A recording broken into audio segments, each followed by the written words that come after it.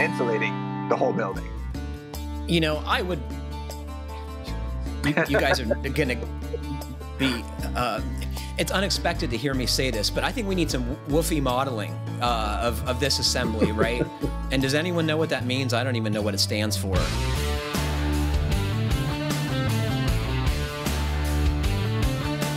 Welcome to the Fine Homebuilding Podcast, our weekly discussion of building, remodeling, and design topics aimed at anybody who cares deeply about the craft and science of working on houses. This is Senior Editor Patrick McCombe.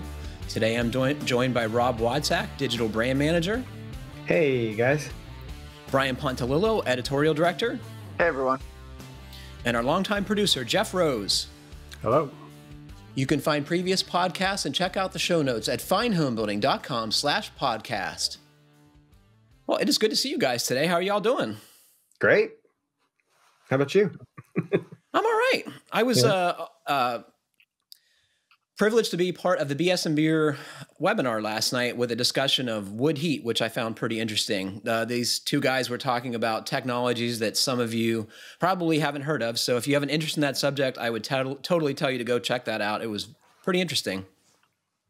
Rob, ch- where can they find BS and Beer, Patrick? On the uh, Green Building Advisor website, there is a uh, link to all the shows, and you can find that one and past uh, episodes right there on the page.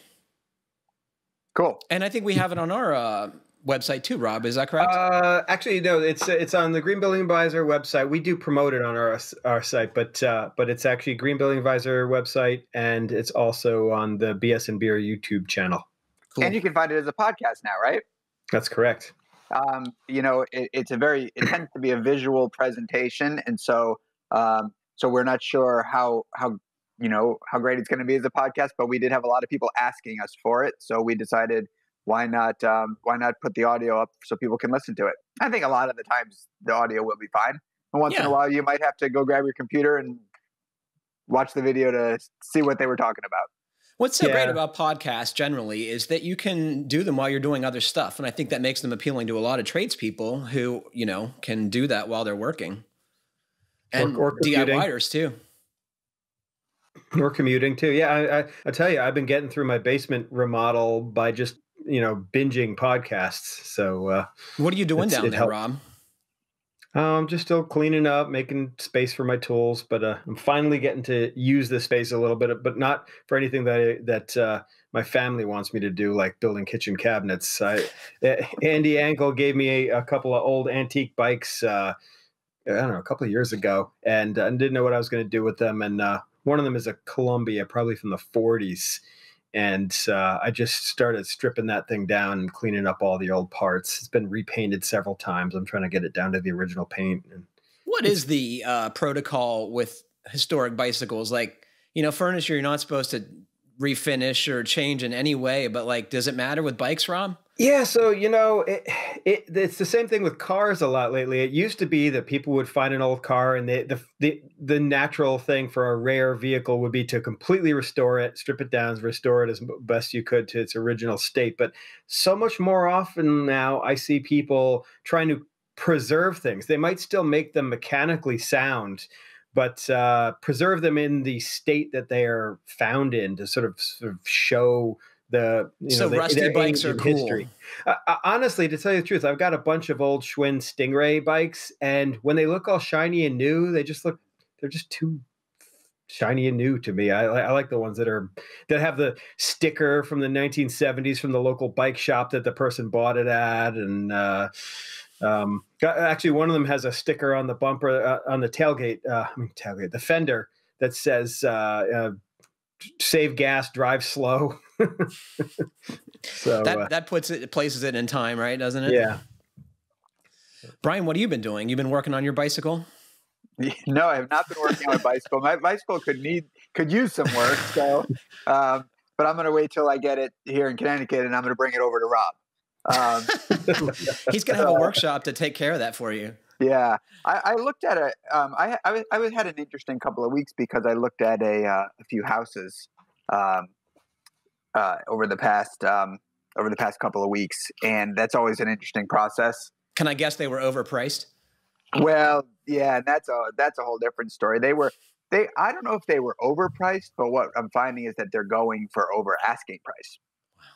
So maybe the asking prices seemed fine, but they're just like they're just uh, they're just going really fast in this in this market, and often for you know ten or twenty thousand dollars or more over over asking price, which makes it you know uh, maybe maybe not the best time to buy if you don't need to or really really want to. Um, what the the most interesting um, part of the process though was was this week when I um, looked at a had a house that I, I really actually liked a lot and and actually fit uh, the bill for a lot of both um, both what we like about homes and also um, what we're looking for in a home. Uh, but I but the the realtor let me know she she she sent me the inspection report from the the previous um, potential buyer who actually backed out because of the inspection report. And I looked over the report and and I wasn't too I wasn't too, I wasn't scared away by the by the what the inspector had found, and so I said, you know, I'd still like to I'd still like to take a look at this place um, because a lot of it was like um, there was some woodpecker damage to the siding, and you know I'm eh, you know I'm not uh, I'm not unwilling to you know do some repair work on siding. In fact, I don't you know look forward to a project like that. Um, but but um, so nothing on the, nothing on the the inspection report really scared me away too much. And but when I got to the place and when I started looking at it, it was it became very clear that this was a house that you know was going to need tens of thousands of dollars in repairs, if not if not a hundred thousand dollars in repair work over the next ten years. Um, and some of it, some of it, very much safety issues. I mean, I saw cantilever deck joists that were rotting away you know the middle of the joist there was there was almost no meat left. Um, when i looked in in attic spaces and little closets that had been created within the wall i could see you know not only no insulation but lots of signs of of water yeah. getting getting into the walls. So the amount of the amount of obvious problematic conditions in this house was not reflected on that ex- inspection report at all. And i started to think to myself about inspections. You know, and I remember we had a, a, we had a commentary written by Gary Katz a number of years ago. He ran into some trouble, right? He had, and he because he bought a house um, in a out of state, so he was living in California. If I remember the story right, he was living in California, was buying a house in Oregon, and so I think he might have bought the house sight unseen, or he or he visited it quickly, but then sent an inspector to look at the house. And because of the what inspectors, home inspectors do and don't do, um, what he Gary had a did, ton of rot repair. Yeah, he didn't know about rotted sills and yeah. rotted floor joists and stuff like that. There were things that were under the house that the and you know that the inspector just didn't look at, and it brought this this process brought that really to light for me. And um, you know, I know that that's a challenging job. I know that they do have restrictions and that they try to look at certain, um, you know, significant safety issues and big ticket items. And they but he didn't find those either. he didn't find those either. And what and and and even even just the even what you wouldn't have gotten from this inspection report was the amount of these items, how significant how significant these items were.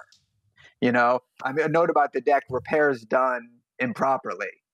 You know, that doesn't really that that still it says well the deck was repaired, but when you saw some of how you know one very very large deck, probably a couple hundred square feet, held up by you know two by six, two by sixes were the posts, and they were just and they were stuck in the ground. Oh my gosh! So it was it was a it was kind of a fascinating uh, process to go through. Um, still an awesome house, and and if I was looking for um, if I was looking for a bigger project, I, I still a house I might, might have likely considered, but it was it was a little too big, and it was also a challenging, you know, as a as someone who's not afraid to work on their own houses, but knowing that you're going to be working alone, you have to take the complexity of the home into consideration. it was built into a hillside and would have had some tough areas for staging and you know setting up ladders and that kind of thing. And so I started to think about like not only the, the amount and and price tag on all these repairs, but also the complexity of doing them without a crew. What did they want for this place, Brian? So it was uh, three bedrooms, two baths, um, on three acres. I believe it was around 2,000 square feet, and it was 260. Mm. That's like the you know kind of entry point, pretty much around here, right? Two hundreds, yeah. you know. Wow. Yeah, she said, and she and that that price had come down a little bit, but she also said that you know that they they they were you know the realtor said that they you know they weren't going to budge on that price. Mm. So, um, I think that that um, I think she said that's why the previous deal fell through because you know the they got repairs. The, the owners saw the inspection report, saw that there were repairs needed, tried to tried to you know get some money off the price, and the owner just said, you know, you know what the market is, you're going to hold out. Did you uh, feel disheartened by this process? Or are you keeping your chin up and going to look at other places? No, I'm not disheartened, and I feel like I have you know the luxury of um, time. You know, I don't, I don't, we don't need to do anything immediately. You know, and if it's if it's not a smart market to buy in, then you're not you know, gonna, not gonna. Yeah. You rent. Jeff, what have you been doing around your place? Uh, lots of little stuff, nothing major. You know, fix a chair, fix a light. Nothing. Do you like that kind of fussy stuff? Um, yeah, for the most part. Yeah. Yeah, it's like easy and it's done. There's definitely something to appreciate about easy and done. I did a little home networking to uh, make Carol's life easier this past weekend. Uh, she's had a wireless connection on her work computer, and it's uh, proved to be a problem in, in uh, more recent days. So she asked me to run a cable from our uh, modem to the, you know, her workstation. So we did that and ran another one so she can do um, have the computer connected to the network when she's doing little videos uh, in the basement for fine gardening with uh, where she has her seed starting uh, area. So that was kind of a similar project, Jeff, where uh, it had a beginning at about 10 o'clock in the morning. And by, you know, two or three in the afternoon, I was done and uh, enjoying the playoff games. So that was kind of fun. And uh, I don't know what I'm going to do this weekend. All right, so we heard from a number of folks this uh, week, as we often do. This comes from Andrew, and this was re- in regard to uh, Home Depot's fine for violating uh, lead safety protocols. Hey guys, in episode 315, you referred to an article about the Home Depot being fined $40 million for lead paint safety violations. I thought I would share my experience with lead. One of our four children tested high for lead in 2020. It was like the sky was falling. The system was awakened, my child was put in a monitoring program, and specialists were notified. Naturally, my wife was very concerned, so I started researching. The child's lead test came back at 10. How bad is that, you ask? Treatment isn't considered until levels are 45. I had the opportunity to speak with one of the specialists. She's been doing lead monitoring and treatment in children for 30 years. So, what's done for high lead levels, you may ask? The child is placed on iron supplements, and you're told to give them plenty of citrus and milk. After all the scare tactics, I was expecting something more invasive. The specialist said when the levels get too high, above 45, they can clean the blood through something similar to dialysis.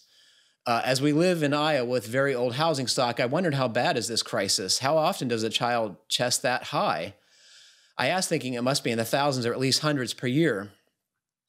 In her 30 years of doing lead testing and treatment, seeing thousands of children, she's known of exactly one case of a child being treated for lead poisoning. Other than that, they tell you to eat well and get tested every six months.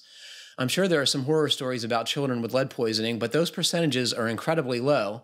I think our time and resources would be far better spent on problems like cancer, diabetes, car crashes, etc. Thank you, Andrew. What do you guys think about this? Well, I've I've known a few people who have had children who have had uh, serious high lead, uh, lead levels, who've lived in older homes or had older furniture in their houses, and uh, what, I know do they have to go of, undergo treatment, Rob? Yeah, I mean, it's the same kind of thing where it's it's it's if it's not like life threateningly high, but it's high enough to be on the chart, they um, um, one, I know at least one of them had to be reported to the local like county health department for monitoring, and that dietary things, that dietary and supplements are, are like how they, you know, unless it's like seriously high, how they tell you to deal with it. So it's like over time, you're trying to sort of wash it out of your system by the the, the things you're taking into your body.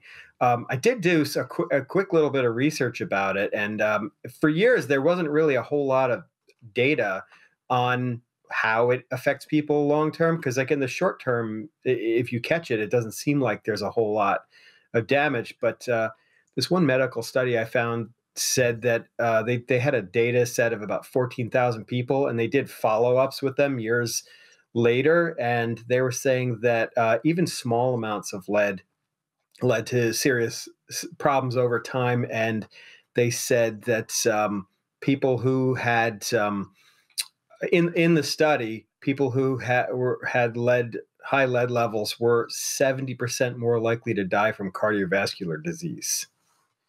Well, and and they have problems. Kids have problems learning. You know, it gives you neurological problems, and you know, yeah, lead is not something that's supposed to be in your system. Is the point I would make. What do you think, yeah. Brian? Well, I, I mean, this isn't this uh, this isn't the first time that I've I've heard this, or any of us, right? I've heard this this um, story. We, we, all know that the issues and health risks with lead. Um, curiously, I feel like um, I feel like every time I hear about a, a very specific case, it is related to chil- a child or children, and so I I, I am curious. I'm, i wonder about that. Um, if if there's a reason, if there's something in, in beha- the behavior activity of children that they eat paint chips is the problem, or they eat soil around you know uh, highways because they're playing on the floor yeah. and, in, and in the dust and and it disproportionately affects poor children because they live in substandard housing and are more likely right. to live close to you know major transportation uh, corridors yeah yeah the one child that i knew who was reported to the local health department uh, they lived in an old house but but when they knew they were having a baby they did their best work to encapsulate all the lead paint in the house uh, all the floor paint and the wall paint and so they were like freaking out because they're like, well, what's going on here? And it turned out it was uh, an antique rocking chair they bought at some tag sale. Mm. And it was in the living room where the kid was a toddler and learning how to walk and was like holding onto that chair constantly and then probably licking their fingers or eating their food or whatever. And, and it was like seriously high levels of lead from just that one piece of furniture. Yeah, that's a, that's a great, that's a great point to bring up actually, because we, we talk about the lead, lead paint in you know on, on houses pretty regularly because we talk about remodeling a lot and that you know so it's it's it's constantly a reminder to be careful of of lead paint when you're working on old house but there's other places where you'll find lead paint not just on the house and yeah. i think the point rob makes is is great little kids like you know they're constantly putting their hands in their yeah. mouth after touching things and if the ball is rolling around the lead coated floor you know it's going to be on the ball or the matchbox car or whatever it is yeah. Yeah. The, the other family that I know of close by uh, live in an old farmhouse, and uh, they are pretty sure that it was uh, in the soil around the house from probably once they had someone had scraped and repainted the house. Yep. Yeah. That's why the you know RPP rules uh, exist, right? Because it's that's something that people didn't used to pay attention to and they'd let the chips go all over the ground and then the kids play in it and especially when they're little you want them around the house not going to the playground um, so andrew we have a couple physicians that listen to the show regularly i know of so uh, if you doctors out there want to weigh in further on this subject i would love to hear from you uh, we also heard from, as coincidentally, Dr. Lee in this episode about last episode. Uh, Hello, FHB podcast crew. I appreciate your engaging and informative discussions, particularly the mention of the importance of interior humidity levels on one's health from show 315. It's worth mentioning that there is another very important reason that interior humidity should not be too low. The ideal range is 30 to 50 percent, that is, the ability to effectively remove pathogens from the air by filtration. Virus particles don't have wings to fly on their own, so they hitch a ride on airborne respiratory droplets. When the humidity is too low, the size of the combined respiratory droplet slash virus complex can be too small for effective filtration. In other words, depending on one's filter efficacy, it can require too many passes to filter, most filters in residential and commercial environments are somewhere between MERV 7 and MERV 13. Most of us don't have blower motors robust enough to push the air through a MERV 20, which is a HEPA filter. And he includes a, a link that I'll put on the podcast notes. Um, what I've done in my office is upgrade to the highest rated filter my blower motor will handle, MERV 13. I've added UV lights in the ducts and only run the office HVAC when the thermostats call for conditioned air to avoid unnecessary mixing of air between rooms. and I supplement it with individual room HEPA uh, filtration, which are 100 more, no, this, excuse me, hyper HEPA. Have you guys heard of hyper HEPA? No. I hadn't either. No. So, so he says they're 100 times more efficacious than HEPA air filters. The ones I have run continuously. Um, CIQair.com. I have no financial interests, but that will explain some. Uh, I've published four videos on indoor air quality on my YouTube channel. If anyone needs a cure for insomnia, thanks again and keep up the good work. Dr. Lee, P.S. Don't use bungee cords.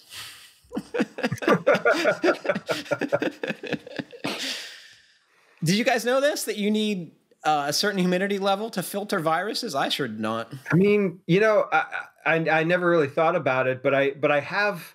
Um, I don't know where it came up recently, but the idea that you know everything. I mean that all of this stuff does travel on moisture droplets. Like you said, a, a virus does not mm-hmm. travel on its own. It, it, need, it needs something to hitch a ride. So uh, the, the, the flip side of that is that when the humidity level is higher, that it makes it easier for uh, for that stuff to to move around, which is why you got to be careful in certain environments. But um, is that but, is that the first time you've ever used the word efficacious, Patrick? I, that's, uh, it might be, Rob. Did I pronounce it correct? Do you think? I think I think so. Yeah. we also heard from Jeff in Bainbridge Island, Washington. He uh, commented on his favorite tools that we asked listeners to to send in their uh, suggestions. Uh, you guys want to guess number one? Well, of course, you see the script, but I'm going to ask listeners. Yes, you're right. It's an oscillating tool. Uh, number two is his drywall hoist, which I would totally agree is another mm-hmm. amazing thing when you're hanging drywall. Uh, battery powered chainsaw and pole chainsaw. Uh, four is a borescope. Five is an LED headlamp, which that has changed my life. Yep, those are all on my list. That's for sure. Well, except the borescope. I haven't. I, I got one of those things. I, I haven't used it too much. You'd think I would in this old house use it more, but yeah. So, do you have a really good one, Rob, or do you have one that's like in the tens of dollars range? Like, no, I got it's a, it's Milwaukee one. It's it's not bad. So it has an LCD screen and a little camera at the end. Yep. Mm-hmm. Uh huh. And do you find it confusing when you stick it in somewhere and you don't know which way is up? That's the part I've never been able to figure out.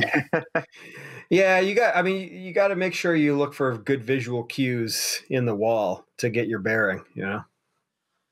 I hear the the better ones can like electronically write it themselves, but I, the ones I've tried to use I find very confusing to look at. Oh boy! So here's our first question from Jerry Jerry says, I'm newish to the building industry. I was mostly a self taught DIYer until I fell into a building maintenance role, then worked as an assistant carpenter, and now I'm a project manager for a design build company in Michigan.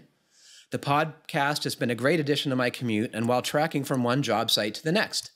I mostly got my feet under me, but we recently started a whole house remodel on an interesting house. It was built in the 50s. The main floor consists of foundation walls and concrete slab, sort of like a split level. The walls are blocked from the slab to the top of the second floor. The blocks are 3 inches tall by 12 inches wide by 8 inches deep. The existing house had furring strips nailed right to the block and drywall plaster on that with no insulation to speak of. The trusses look hand built on site. As part of our renovation, we have removed all the existing drywall and plaster and are building 2x4 walls on the interior side of the block wall to give space for outlet switches and forced air ductwork. The only wall cavities in the house are above the front door on the lower level and all the way up the gable end wall, and in the top one foot of wall on the second floor. The inspectors have told us that we only need to insulate wall cavities that we exposed during demolition, so basically one eight foot wall section and then the header space on the second floor. By framing new walls on the inside of the block section and then the header space on the second floor, oh, excuse me, by framing new walls on the inside of the block, we have the opportunity to insulate more, but how? Some of my colleagues say we should foam it all. Some people have warned that if we insulate too well, the block will hold moisture and during the winter will stay cold and freeze, leading to deterioration. One thought is to use relatively basic insulation like fiberglass that will help hold heat in, but would still allow some heat to dry the block to the outside. Am I thinking about this wrong? Is this a common problem? It seems strange in our area, but maybe this is a common assembly in other areas or in commercial buildings. What is the best way to handle this? I really appreciate your time and all the long conversations you have for our delight. So I'm not going to read uh, the rest of Jerry's correspondence, but I emailed him for some uh, uh, details about how this this uh, structure is built, and he sent me a bunch of photos. So if you all want to see this place, it's pretty cool. Um, go to the podcast page and have a look. So, what do you guys do with block walls? How do you insulate them? What what? This is a, what did he say about the just before we uh, start? What did he say about the exterior um, of the building?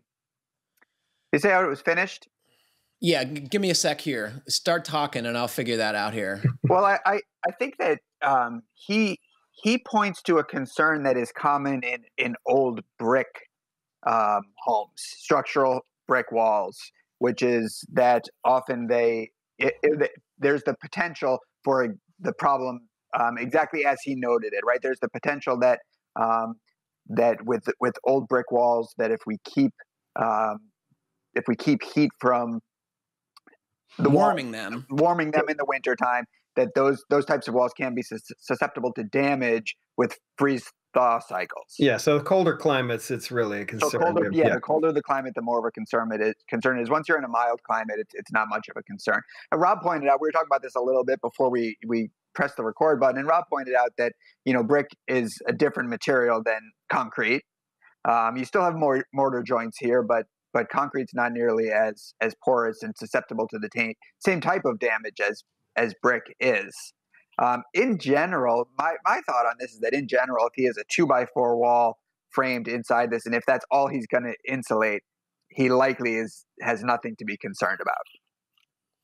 The point I always make when we get asked this question on you know mass walls, masonry walls is um, overhangs make a huge difference in the assemblies. Like it, is way more forgiving to insulate on the inside if you have good overhangs on the outside because it keeps that wall. From- that's exactly why I asked about the exterior finish because if you know water management is huge, right? It's so huge. are you are you keeping these walls dry with your overhangs, with your siding, with flashing details, you know, or are they getting soaked all the time? That that matters.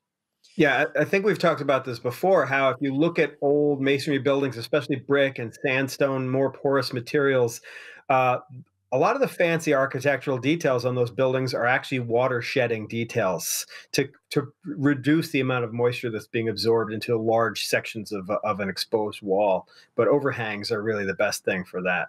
So this house has two foot ang- overhangs on the eave side, which is fantastic, right? That is a very good overhang, but the gable ends don't have any. So my guess is that's going to be where it's uh, riskiest. Mm-hmm. Um, and in, in, in general, with concrete, um, as you alluded to earlier, Patrick, in general, it doesn't need to dry. Concrete, if, concrete can get wet and stay wet. I mean, bridges have underwater concrete column, right? concrete can be wet for the life of the concrete. Now, the one thing though is that I'm looking at those pictures and they're a funny reddish color. So he calls them block, but I wonder if they're terracotta block, you know? So that was really common in, in certain uh, era of homes in Pittsburgh was this clay block. And mm-hmm. we used to call it speed block. I don't know where that word came from, but it was had like flutes on the inside and, and they would plaster directly on that. And, you know, that was the wall and it often had a brick veneer on the outside and there was no insulation.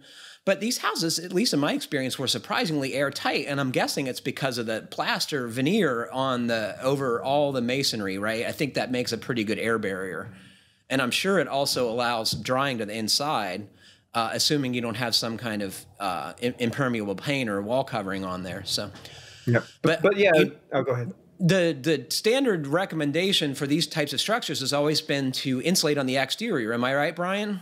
If possible, I mean, yes, if yeah. possible. I mean, I think that's the you know the exterior, gold standard. Exterior insta- insulation is always is always when when possible.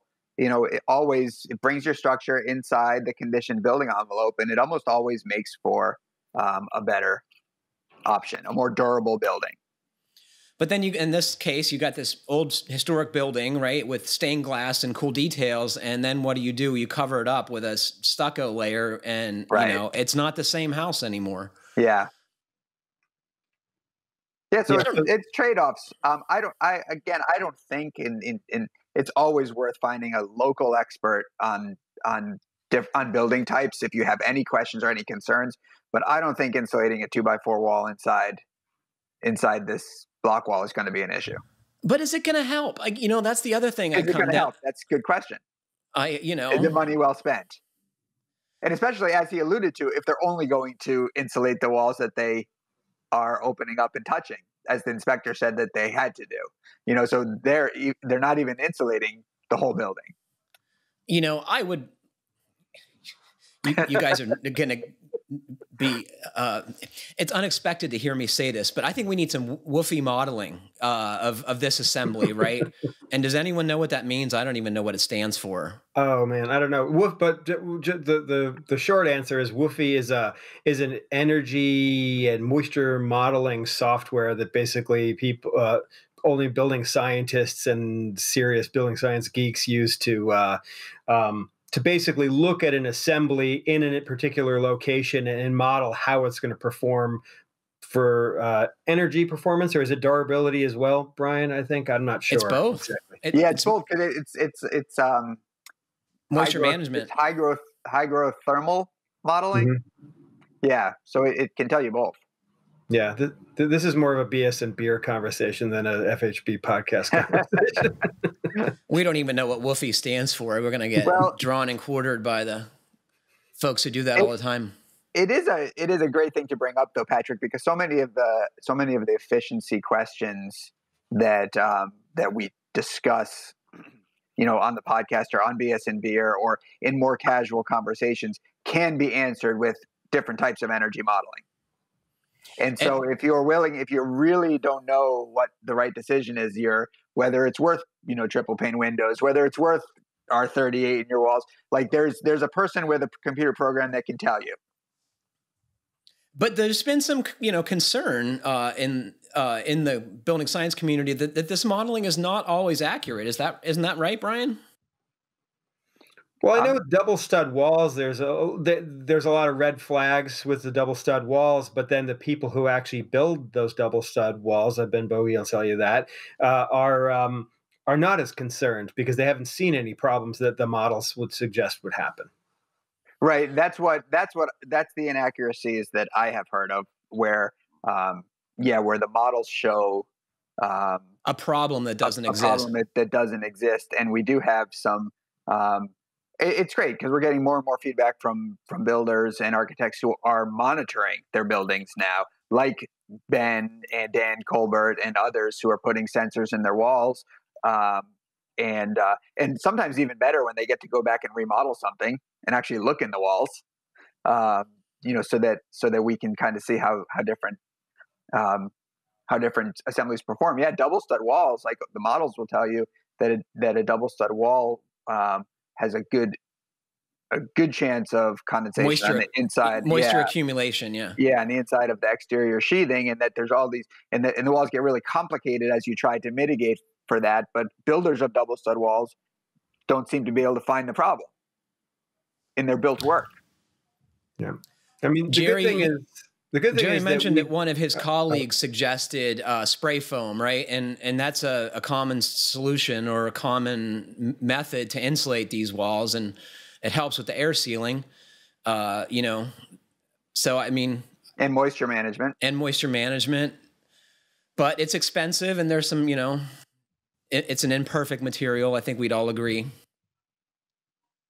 Jerry, I'm sure that was completely unhelpful. So, uh, another question, some other time, maybe we'll do a better job. Well, uh, you know, honestly, like when we when we get the really complicated questions, I mean, uh, not that I, I want to uh, like pass off responsibility of of helping people with stuff like this, but go to the greenbuildingadvisor.com forum and you will basically get like the same kind of you know eh, feedback that you would expect to get if you went and hired an engineer to to Yeah, actually from people who know what they're talking about. yeah And yeah, and like I said earlier, I really think you know lo- sometimes the best thing you can do is find a local expert. It's often you know Patrick, you mentioned it before about these you know houses being built in the um, Pittsburgh area, right? It's often that you know similar construction types happen within you know communities and mun- municipalities, and so there's people who have experience with them. You, Yeah. you know find, perf- find that person. a perfect example of that I was talking to a good friend of mine who lives in a neighborhood where all the houses were built by the same build developer of the same period and his contractor pretty much works exclusively in that town and so like he's got a you know drain pipes buried under a slab in his basement. He wants to put a bathroom in, and the the contractor's like, "Oh yeah, I know where they put the pipes in these houses." Because he's worked on so many of them. That's you know? the guy so you like, want. That's the guy you want. Uh, so this is. I'm looking forward to talking to you guys about this next question. This comes from Phil.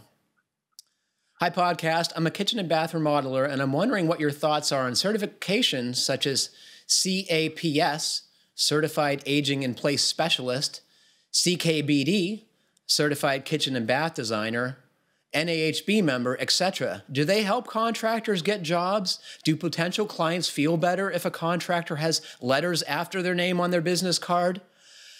It makes sense since we're not, you know, normally accredited like engineers and architects. I look forward to your comments. Cheers, Phil.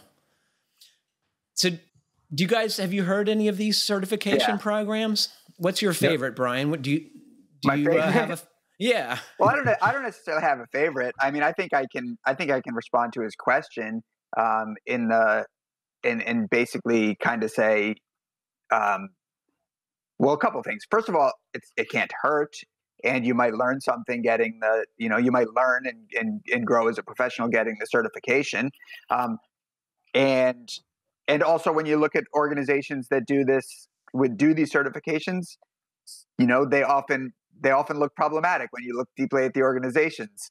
Um, so I've talked to over all. Why do you say that, Brian? I I, I think that's kind of a, a bomb to drop. Um, well, like like NAHB for example. Um, you know, NAHB when you at the heart of it is a lobbying organization, and so you know, um, there. In fact, just today there's a piece in the New York Times about NAHB and their influence on the building codes and that's so that's what you're you know that's you you have to be they're they're a political organization they're a lobbying organization so to to want to be involved you also need to be behind what they stand for and what they're lobbying and that's why i say problematic. Not problematic like it's a bad organization it's up to each person to decide whether they kind of stand with the organization. I'm sure the national kitchen and bath association which is also a huge organization does some of that as well. Um, you know so that's that's why i say problematic because and maybe problematic is not a, the, the right word to use because I definitely don't want to throw the organizations under the bus. I don't want to. I don't. Ha- I'm not staking an opinion on that.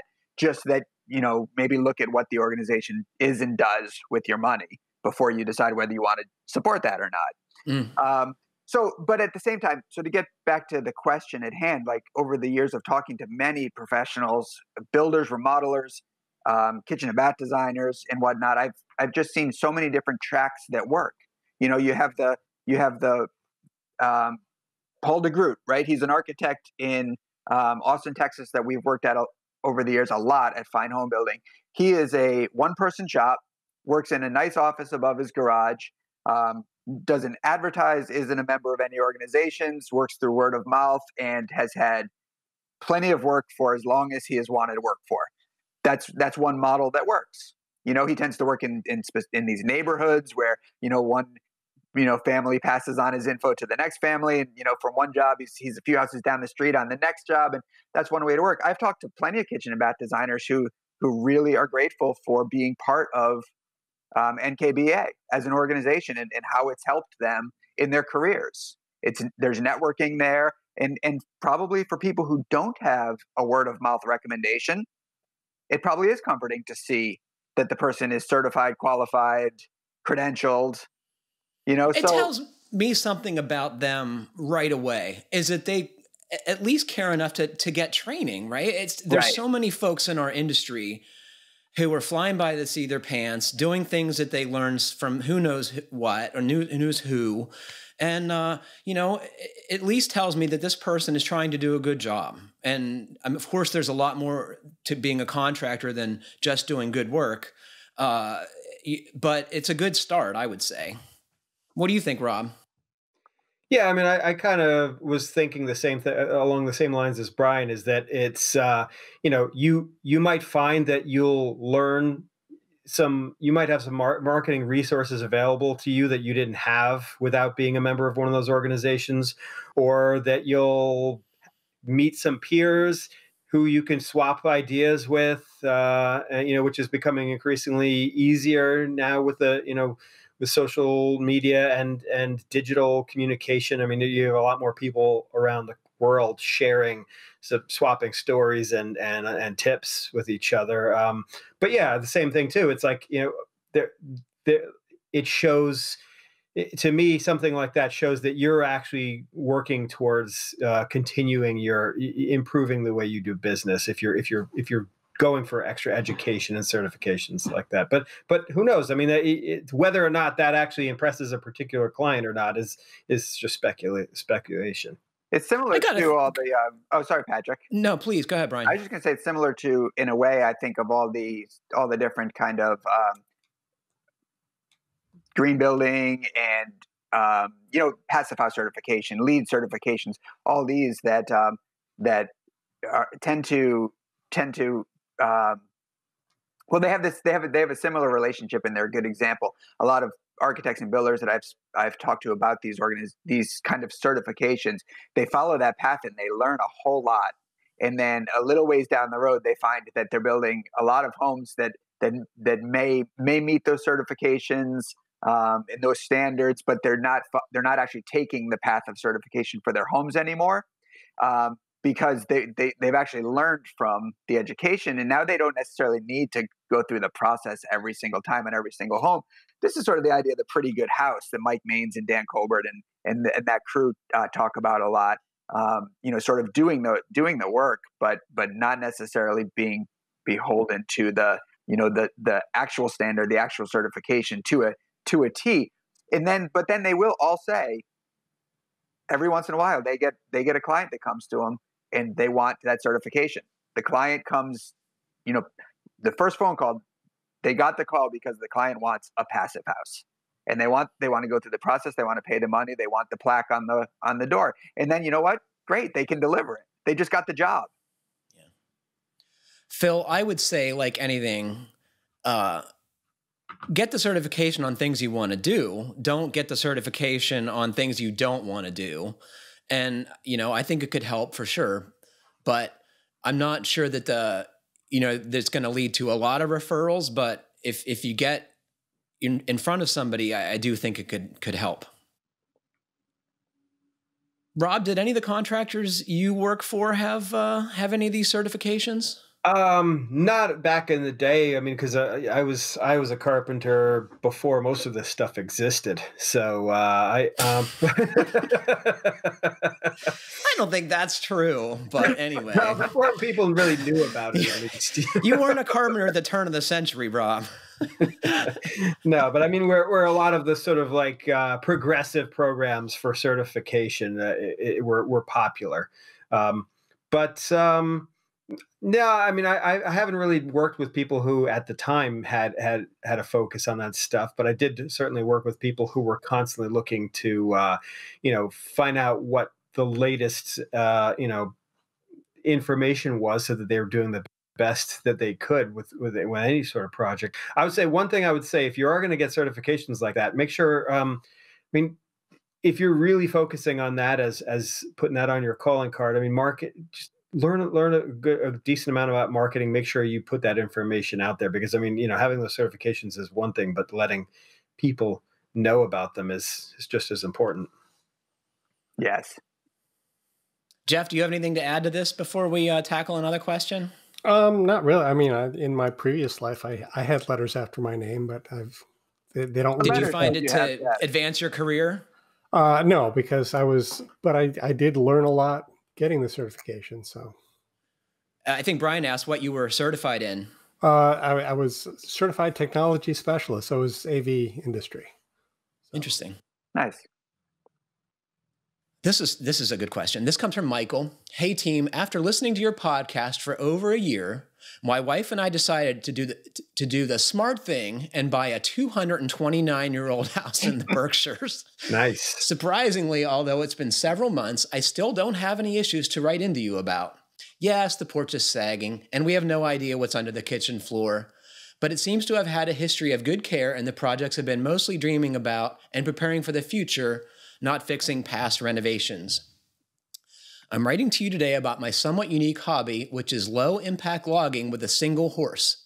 I often joke that I'm one of the few hobby loggers around, but I love the work and I think there's a real place for it even in modern times. Just like we don't call someone an- anachronistic when they use a shovel instead of an excavator to dig a hole, a single horse or a horse team can be the exact right tool for certain jobs. Although I'm the first to admit that some holes do call for an excavator, this admittedly unique passion has had me thinking for the past years about the importance of sourcing wood locally whenever possible, a topic you've skirted up against several times but have never addressed directly. When we buy locally, we're supporting our communities directly and we're not buying into the illusion of preservation where we just choose to place the resource burden on some faraway, unseen, and often less regulated market. I'm curious what demand, if any, you see in the market for local wood and why or why not. Patrick, I would love if love it if you invited a forester and or logger, two different things, onto your Pro Talk series to talk about this. I'm happy to recommend some great folk. There is also a series of webinars coming up from the amazing people at Northern Woodlands on the topic that I would highly recommend. And finally, the subject of carbon storage and sequestration seems to come up often, and every time it does, I'm reminded of this excellent publication by UMass on the topic, and I'll include the link that Michael does on the podcast page. Please take a look. It answers a lot of the questions that you inevitably seem to have. Many thanks for the hours and hours and hours of great listening. All the very best. Michael. So I asked Michael about his logging partner, and he says, My partner in crime is named Hazel, an 18 year old Belgian mare. I bought her from my mentor, Brad Johnson, who runs Third Branch Horse Logging in Vermont with his business partner, Derek O'Toole. They're the real deal full time hybrid operation harvesting with horses and a forwarder, which is a machine for carrying large loads of logs on logging roads. Hazel's more or less in semi retirement living with me. I'd love to do this full time, but what it boils down to is there's just not enough demand yet for this kind of work. My only goal right now is to raise awareness of sustainable logging as a practice and maybe make people think twice about where their lumber comes from. Still, to get back to the original topic of my email, when I was working in Vermont on bigger jobs with a team of horses, the trees we were harvesting as responsibly as we could were going to the same pile of logs as everyone else's and then getting shipped to China to feed their housing boom. If there were more demand for and appreciation of for what we could get right here at home, it could benefit everyone and it could even benefit the forest. I'm really interested to know what you have to say on the topic. Would you pay extra for lumber you knew came from the state forest down the road? What if it came from a tree that used to stand in your backyard? All the best, Michael. So, Rob, would you pay more for trees that or lumber that came from trees nearby? Would I pay more for it? Um, I mean, sounds like no. I, I, I, would I would kind of think that uh, I, my priority with this would be more about getting the stuff local because I do like the the idea of of building with wood that came from my own property or one of my neighbors' property. I know uh, certainly in our part of the country, especially when you go a little further north into New England, that's a lot more common. And in in the um, BS and beer conversation that you guys had last night about burning uh, wood for heat. Uh, that was certainly uh, something that was brought up a little bit is that you know it kind of depends on where you live. I mean we we live in a perfect place. I, I could drive up and down route 7 which is the local state highway around here um, and go an hour north hour south and every half quarter every 15 minutes to half an hour i'd pass another sawmill you know? So i mean I, I thought about this actually when the lumber prices spiked I was wondering if more people would be going to some of these local mills uh, during this this building boom to get wood because maybe it is even more affordable compared to the stuff we're shipping from other parts of the country. What about you, Brian? Do you think there's a value on locally harvested forest resources?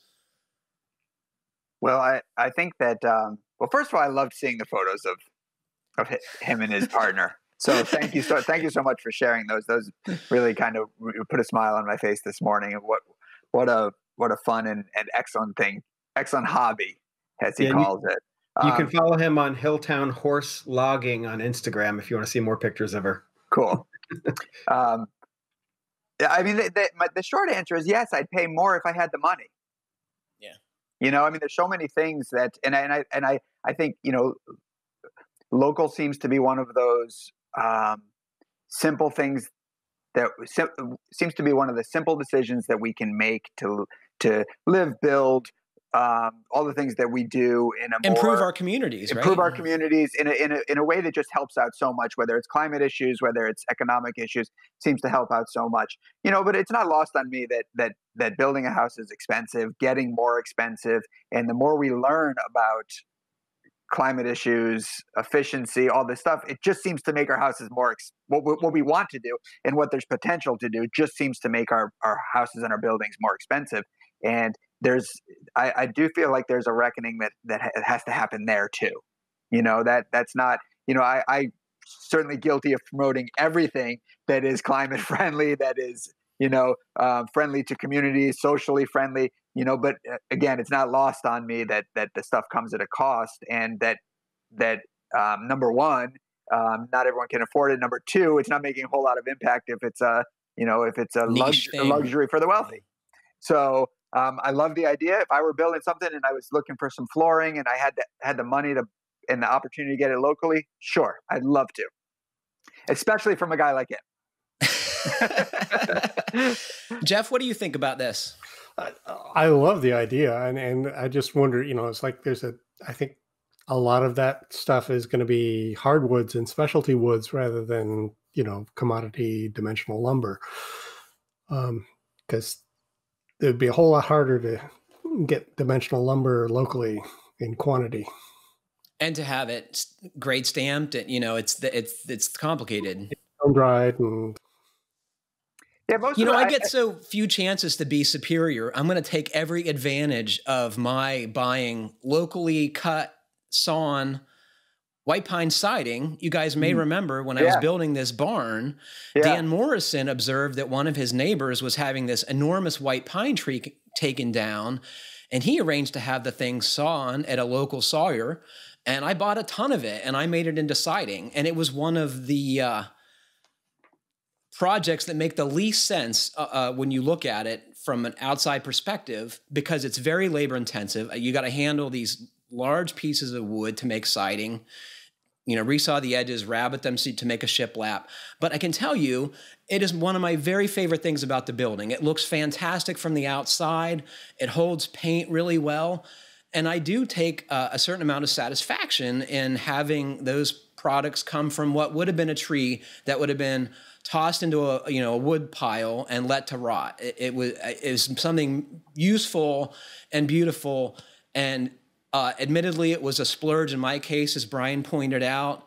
But um, I think it was worth it. I built my kitchen cabinets from that same tree.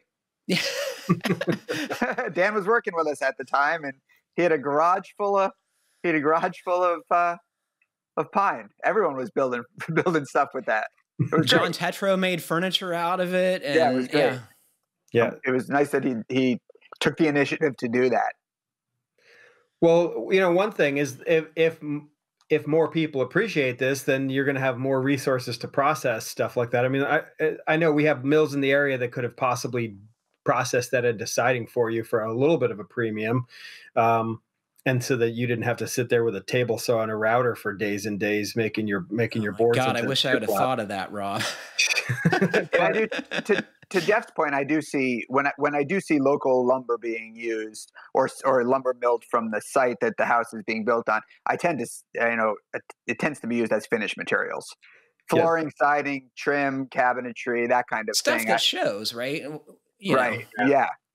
Yeah, I can tell you if if we build a house because uh, uh, like part part of this the cost of building a house comes down to the fact that over the decades we've just expected to just have more stuff and have more complexity and have more details in a house. But honestly i mean like a friend of mine had a farmer tell him uh, when he moved into his old farmhouse on five acres he's like you know property is the enemy of leisure.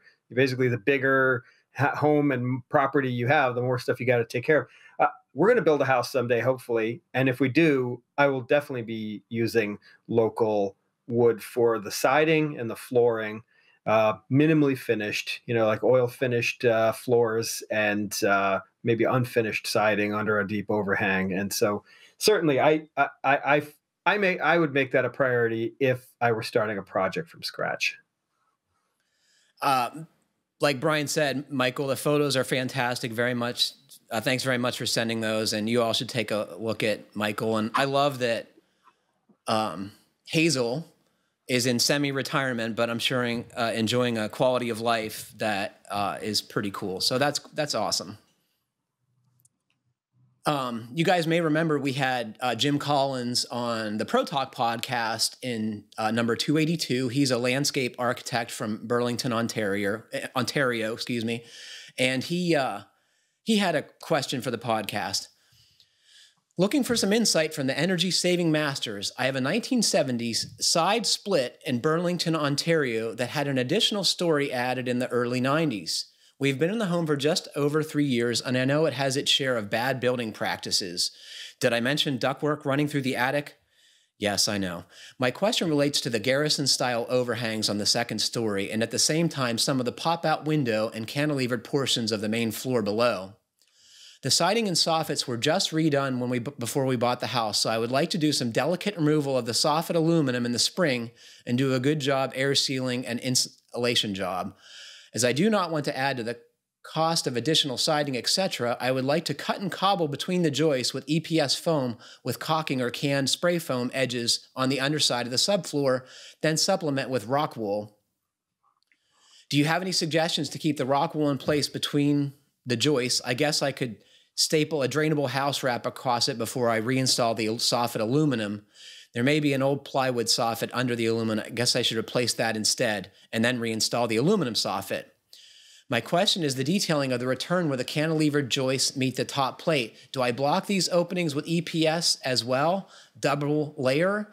So I'm gathering, Jim, you're asking how to air seal the underside of this overhanging floor on the second level of your house, right? And this is a common building science disaster inherent to this type of architecture or that there's never anything on the bottom side of the joist. So this is a huge path for air leakage that then travels all the way down the joist and goes through the rest of the house through holes in the uh, bearing walls that connect levels of the structure. So you're right to want to air seal this. I guess the question is, how do we go about it? And my suggestion is if there is plywood underneath that aluminum, is tape the seams, tape the corners, and just use that as your air barrier. If there's not, you're going to have to either add to the bottom of the joist or infill cut and cobble like you suggest to block off all those holes so air can't get in to the joist cavities. Am I missing something, guys? Well, like um, to to explain if for, for people who don't know, don't know what a garrison style house is i mean it's basically when you've got this second floor overhanging the uh, lower floor and having a, a soffit like you would have a soffit over an over, or roof overhang. And the problem with these houses is that uh, particularly at the time period when they were built is like people didn't really know about air barriers yet. And and uh, especially when living in a colder climate like ontario it's a concern because you basically have this it turns your floor system into ductwork that just sucks in air from the outside. And because of the weird transition of this overhang, um, you usually have these big openings that, like he said, he wants to pop off the soffit, which is underneath the, uh, the this overhang. Um, and uh, if it's open, he wants to get some foam in there. But yeah, so I mean, because my concern with ju- if there was just plywood there with just taping the seams is that it well is there sh- is just sheathing air sealed you know is that going to really be enough of an air barrier? So i mean uh, I would I would definitely if it's not that much trouble even if I did find plywood underneath there try to fill the joist bays. I'd try to open it up and at least get something rigid uh, in plane with the inner lower wall uh, blocking off the ends of all those joist bays. Because I can tell you from experience in my balloon framed house that blocking off joist bays that communicate with the rest of the house from the outside is one of the biggest improvements and easiest and cheapest improvements you can make to a leaky old house. True. So, what do you think, uh, Brian? Yeah, I agree. I agree with Rob, and I, I, did wonder in terms of doing this work and doing it um, efficiently and and and not kind of you know not kind of struggling working in these cavities, whether you're up on a ladder or um, whatnot. I wondered if it was a good opportunity for a one of you know kind of a two part foam kit um, you know, get the blocking in there and then just use that two part kit to kind of, you know, go around the perimeter of the of the whole area. And then you could you could fill from from there you could fill with any fibrous insulation. So yeah. um, it would help with you know, you know, it's not great to rely on spray foam for air sealing. Um, so if he does go with a cut and cobble approach, for example, caulk's a better option or tape than than can spray foam. I, I think builders are just learning that it tends as, as, the building moves, it tends to pull away from the framing, it tends to crumble at times. Uh, yeah, and the seasonal uh, take up of moisture by the framing members could ultimately lead to a failure once they dry out, right? Right. Um, but in terms, of, you also have to be able to get the work done, and um, that's why I was wondering about the you know, those two part spray foam kits, they come in handy for certain tasks where you need to kind of um, cover an area with something that is going to, you know, give you some air sealing and some, a little bit of insulating value. Yeah, I, I've actually used one of those kits in, in a house like this where they actually had plumbing in that overhang, and so pipes were freezing, and that was just sort of the the quickest, easiest way to do it. If I was doing it on my own house, I think I would do what you were talking about, Brian, where you'd use pieces of foam or plywood or whatever you're going to use as your air barrier, and tape or caulk those seams, and and certainly use a high quality, stretchy caulk, you know, so like a poly, polyurethane exterior caulk or something something similar. Yeah. You guys have heard me say it before on the show that I love the modern air sealing tapes for, you know, they're clean, they really work well. They do have some a little elasticity so things can move seasonally and you know, it just it just works and you choke when you see the price of the stuff, but boy, it's worth it, I would say. Yeah, and they're making them really convenient with different uh, like, you know, split backers so you can peel half away and make it easier to work with and then peel the other half back after you've made your crease and so they're they're they're certainly they're certainly getting pretty sophisticated these products. Yeah and you know a tape one thing about using a tape over a caulk is they could cut the foam or plywood or whatever it is not worry about how tight the joints are, where you you you you can cover a, a big gap with that. Uh, one note too, if he does find the plywood underneath there, one suggestion I might have if he pulls off the aluminum soffit material is just get a crappy blade and a circular saw and set the depth of the thickness of the plywood. And even if you're not getting all the plywood out, you could just run that thing the length of the whole soffit in two passes and get a nice size opening that'll get the full clear width of the joists. And you'll be able to pop, you'll be able to slide your uh, plywood or foam, whatever you're going to use as your air barrier up into those gaps without having to disturb where the plywood is underneath the edge of the of the uh, siding on both edges. We do Jim, have a, we I would tell you. It I would tell Jim he, he's lucky to have vinyl siding, and I would say mm. take off vinyl siding to do make this work easier. It, it, comes off and goes back up so easily. There's no point in trying to work around that if it's difficult at all. I would say pull off a course or two above the that overhanging area or in a one below and i think it's going to make your air sealing job a lot easier and and getting off the aluminum soffit without damaging because my experience is if you look at that stuff wrong, it gets bent and never looks the same again. We do have a nice detail for this on on GBA, and we can we can grab that illustration and put it on the show notes page. Um, I don't think I don't think he'll be able to um, do the do it exactly as drawn because it would require him to have some space below the framing for continuous rigid foam, but he could still take away some tips from it. And um, and anyone else who's dealing with this kind of thing might be able to use um, the details from that drawing. You know, I've talked for years without really working too hard at it, but there are um, building science problems with most architectural styles, right? This is one of them, right? And when you have a main roof that overhangs a porch or creates a porch on a structure, that's often another because there's no sheathing layer between the inside of the building and the outside. There's no sheathing behind that roof, right? So I would love for someone who listens to this show to help us develop a feature article that identifies all those problem areas on different architectural styles that we would have little drawings and these are the things you should pay attention. And this is definitely one of those that I would put on that list is this overhanging detail on garrison colonial style homes is always a problem. That'd be that'd be great. And you're you're right. Like capes and insulating behind knee walls and yeah, so many different uh, specifics of of styles. Yeah. I mean, this kind of comes full circle to our conversation from from early on, Brian. You're you're smart enough, and I wasn't when I bought my house.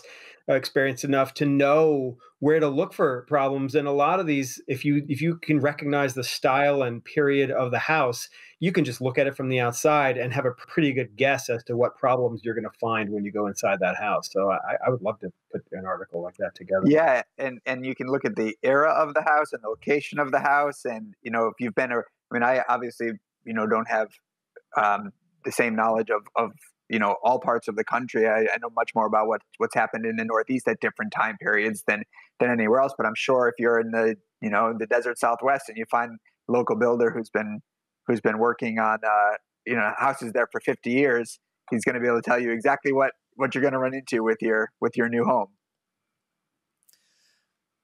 Yeah,